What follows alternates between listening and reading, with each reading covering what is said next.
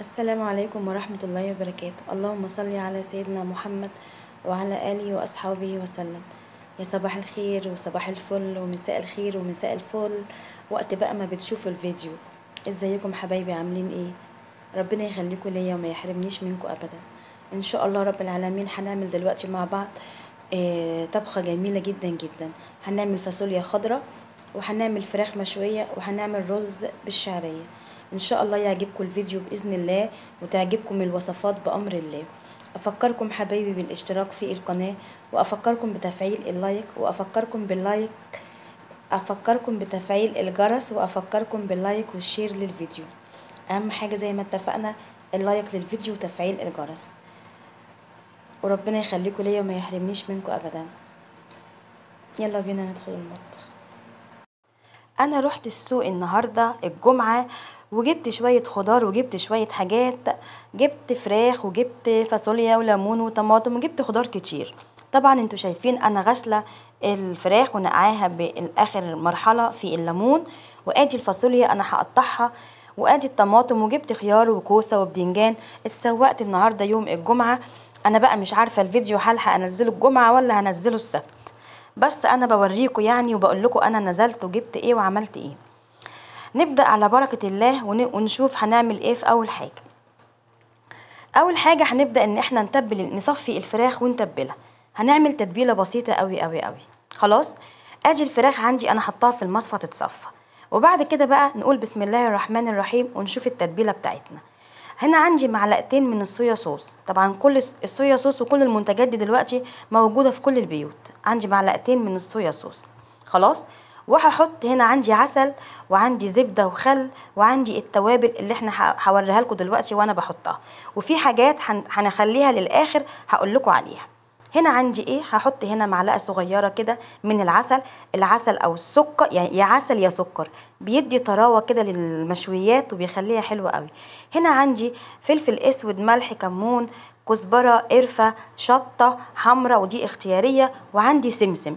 السمسم ده لو عايزة تحطيه حطيه مش عايزة بلاش بس هو اختياري لكن إحنا بنزود المناعة والقيمة الغذائية للوصفة بتاعتنا. خلاص؟ يبقى السمسم ده هو والشطة الحمراء. اختياري بنزود بيهم آه، المناعة والقيمة الغذائية بتاعتنا. وعندي البابريكا عندي نص معلقة كبيرة من البابريكا. وهحط هنا الخل وهقلبهم وآخد شريحة من الزبدة.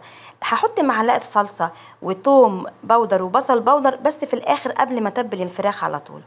ادي الزبدة أهي هاخد منها دي زبدة صفرة نيوزيلندي مش الزبدة أو السمنة الفلاحي اللي إحنا بنسيحها مع بعض. خلاص؟ وهنا بقى هنشوف هنعمل إيه. هجيب بقى الصلصة أو والأول هجيب كده عشان أقطع الفراخ وهحط صلصة وهحط توم powder وبصل powder بخليهم للآخر ليه؟ علشان خاطر أنا آه هم دول بيفتحوا الريحة قوي بيفتحوا الريحة قوي مش عايزة ريحتهم تضيع في التتبيلة فهخليهم آخر مرحلة. هنا بقى هنبدأ إن إحنا نقطع الفرخة بتاعتنا هنجيب القطاعة كده ونقطع عليها. عايزة تقطعي الورك اتنين أو تلاتة زي ما أنت عايزة. عايزة تخلي الورك بوركه كده زي ما أنت عاوزة. أنا هنا هقطع واحد معاكم وهفتح وركين معاكم علشان أقول لكم تقطعوها بأي طريقة أنتوا عايزينها أو أنتوا حابينها. الطريقة دي أو ال- ال- النوع ده إحنا هنسيب الجلد في الفراخ عادي مفيش مشاكل. هنا عندي ادي البصل ال powder وادي الثوم ال powder. هاخد أربع معالق كده وهاخد معلقة كبيرة من الصلصة بتاعة الطماطم. آدي البصل ال powder أو الثوم ال powder وهحط زي ما قلت لكم أربع معالق كده أهو من البصل والثوم وهحط معلقة من الصلصة أو نص معلقة كبيرة من الصلصة. وهقلب التتبيلة بتاعتي وأبدأ بقى إن أنا أشبع الفراخ بيها. طبعا إحنا هنشويها في كيس حراري في الفرن. ممكن تشويها في الصينية وممكن تشويها في الصاج زي ما انت عاوزة بس أنا هشويها في كيس حراري في الفرن. زي ما هنا بس بقى في خطوة صغيرة هعملها قبل ما أضيف الصلصة أو الصوص بتاع المشاوي أو الخلطة بتاعتنا. هجيب ليمونة وأمشي بيها أمشيها على الفرخة كلها. هجيب ليمونة كده وأنا أعصرها أو أدعك بيها الفرخة كلها بتدي تيست وطعم وريحة جميلة جدا للفراخ ايا كانت صدور أو وراك أو أي مشاوي عندنا. جميلة قوي قوي قوي الحركة دي حلوة قوي أتمنى إن أنتوا تعملوها. ليمونه بقطعها نصين واخد نص نص كده وأغسل بيه أو أدعك بيه أدعك بيه كمان مش أغسل ان أنا غسلها بالليمون أدعك بيه الفرخة بتاعتي كلها قطعة قطعة زي ما إحنا شايفين. أهي. وبعد كده بقى أحط الصلصة على التتبيلة وأجي هنا بقى أتبل الفراخ وهشتغل فيها على طول. أنا دلوقتي مولعة الفرن يسخن.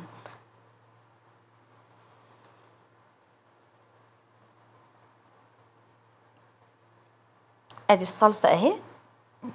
معلقة كده أو نص معلقة كبيرة أو معلقة صغيرة وهبدأ بقى ان أنا اقلبها كويس قوي وهبدأ ان أنا اتبل الفراخ بتاعتي. هاخد كده إيه معلقة معلقة من التتبيلة وادخلها في الفتحات بتاعة الفراخ اللي أنا فتحتها بالسكينة علشان تبقى التتبيلة واصلة من جوه ومن بره وفي اللحم نفسه من جوه زي ما إحنا شايفين كده اهي.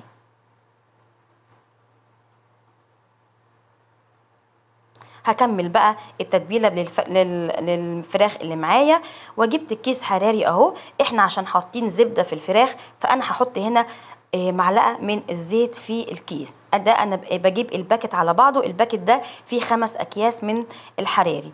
في حجم كبير وحجم صغير وحجم وسط. ده الحجم الوسط. هجيب بقى هنا إيه؟ هجيب آه الكيس بتاعي أفتحه وهحط معلقة زيت كده زي ما إحنا شايفين. وبإيديا كده من بره هوزعها في الكيس كله. طبعا الأكياس دي بتتباع في السوبر ماركات عادي وفي محلات العطارة وفي محلات البقالة. بقى خلاص دلوقتي كل حاجة بتتباع في كل مكان. أهو.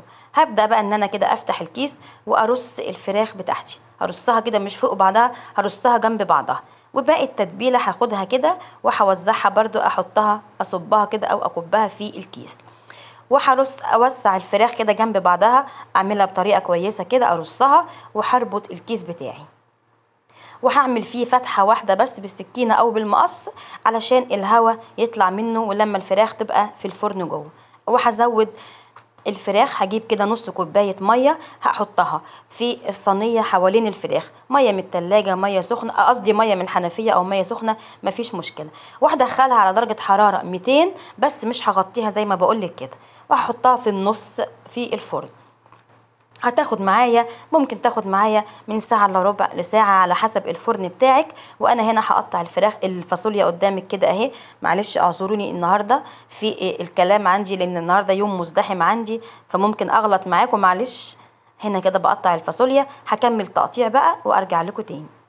هنا بقى هنعمل إيه؟ هنعصر الطماطم بتاعتنا وهحط فيها قرن شطة زي ما إحنا متعودين مع بعض. شطة حمراء لو مش موجود حمراء حطي قرن شطة أخضر حطي بنجر أو فلفل أحمر آه، رومي. هنا بقى بعد ما عصرت الطماطم أو قطعتها هجيب بقى بصلاية صغيرة وأبشرها في المبشرة. أنا ببشرها زي ما اتفقنا على العين الصغيرة علشان ولادي بنتي ما بتحبش البصل الكبير في الطبيخ يبقى ظاهر. هجيب بقى معلقة زيت كده في الحلة بتاعتي أو الوك بتاعي. أنا وأنا هعمل الفاصوليا دي هعملها بشوربة اللحمة عشان أنا عندي لحمة مسلوقة من امبارح. خلاص؟ هنا دايما متعودة لما بجيب اللحوم باخد بلم الدهون اللي فيها وأحطها في علبة كده أو كيس أحطها في الفريزر. فأنا اخدت أخدت حتة دهنة كده أو حتة ليا وأحطها مع الزيت وهنزل بالبصلة بتاعتي. عايزة تعمليها بالسمنة أو بالزبدة أوكي مفيش مشاكل. بمعلقة ومعلقة زي ما انت عاوزة. وهنا هعمل إيه؟ حطيت برضو قرن شط أخضر كده علشان أنا مش هش... ما عنديش لحمة أشوحها لأ ده أنا هعملها بالشوربة. وأنا بوريكم إهيت اللحمة أو عندي كمان قطعة لحمة في الشوربة بتاعتي هصفيها وأشتغل بيها زي ما بوريكم قدامكم أهو. خلاص؟ هحط بقى فلفل أسود كده أهو على ال- البصلة والشطة وحتة الدهنة أو حتة الليه وأنا بشوحها. خلاص؟ هبدأ بقى أعمل إيه؟ هصفي الطماطم اللي أنا عصرتها مع قرن الشطة أو الفلفل الأحمر أو البنجر هصفيها. وممكن إن أنا أضيف كل ده طبعا الناس الحبايبي المتابعين اللي معايا من زمان عارفين أنا بعصر الطماطم إزاي. هنا بقى هصفي الطماطم خالص كده زي ما شايفين. وبعد كده هغطيها تاخد تشويحتين ثلاثة وهنا الفاصوليا قطعتها ونقعت وغسلتها ونقعتها في مية ومعلقة خل برضو علشان تبقى الخضار عندي نضيف وأبقى مطمنة إن هو مغسول كويس قوي.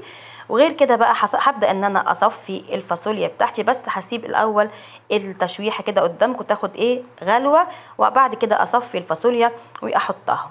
نفس نفس الطبخة دي أو نفس الطريقة حتى لو أنا عندي قطع لحمة برضو هشوح اللحمة مع البصلة وحتة الدهنة ونفس الموال هنزل بالطماطم متصفية وبعدين أنزل آه تاخد تشويحتين ثلاثة أو غلوتين ثلاثة وأنزل بالفاصوليا أو بأي خضار عندي غير الفاصوليا نفس الطريقة وهبدأ إن أنا آخد من الشوربة بتاعتي كده وأزود على الفاصوليا وأظبط الملح والفلفل الأسود بتاعتي وتاخد غلوة على نار عالية وبعد كده أوطي عليها علشان الفاصوليا فيها حديد. طبعا أنا مش عايزة أفقد الحديد اللي فيها بإن أنا أعلي عليها وكل شوية أفضل أزودها مية أو شوربة. كان عندي قطعة من اللحمة في الشوربة حطيتها وطبعا زي ما إحنا متعودين معايا زي ما أنتم متعودين معايا لازم أضيف نص معلقة ولا معلقة من الصلصة للطبخة بتاعتي. هنا الفراخ طلعتها اهيت وهبدأ إن أنا أقص الكيس وهحطها بقى في مكان تاني كده في صينية تانية على أو نفس الصينية وهاخد من الصوص اللي نزل ده وهسقيها بيه من فوق وأنزلها كده 3 4 دقايق على الشواية مش تحت الشواية على الشبكة بتاعة الفرن أو عايزة تحطيها في الشواية مفيش مشاكل. وآدي الفراخ بعد ما خلصت وآدي جميلة جدا جدا جدا. وآدي الفاصوليا هوريها لكم. بصوا الفراخ ريحتها جامدة جدا. وعملت معاكم قبل كده الرز بشعرية كتير. هسيب لكم link من link من اللينكات اللي أنا عاملة فيها رز بشعرية هسيبه لكم في صندوق الوصف عشان ما حبيتش إن أنا أطول معاكم الفيديو أكتر من كده. الفراخ جميلة جميلة جميلة جميلة زي ما إحنا شايفين قدامكم قدامنا أهي. وآدي الفاصوليا وآدي الرز وزي ما قلت لكم هسيب لكم ال link بتاع الرز link من اللينكات في صندوق الوصف. أفكركم بال like والاشتراك وتفعيل الجرس. والسلام عليكم ورحمة الله وبركاته.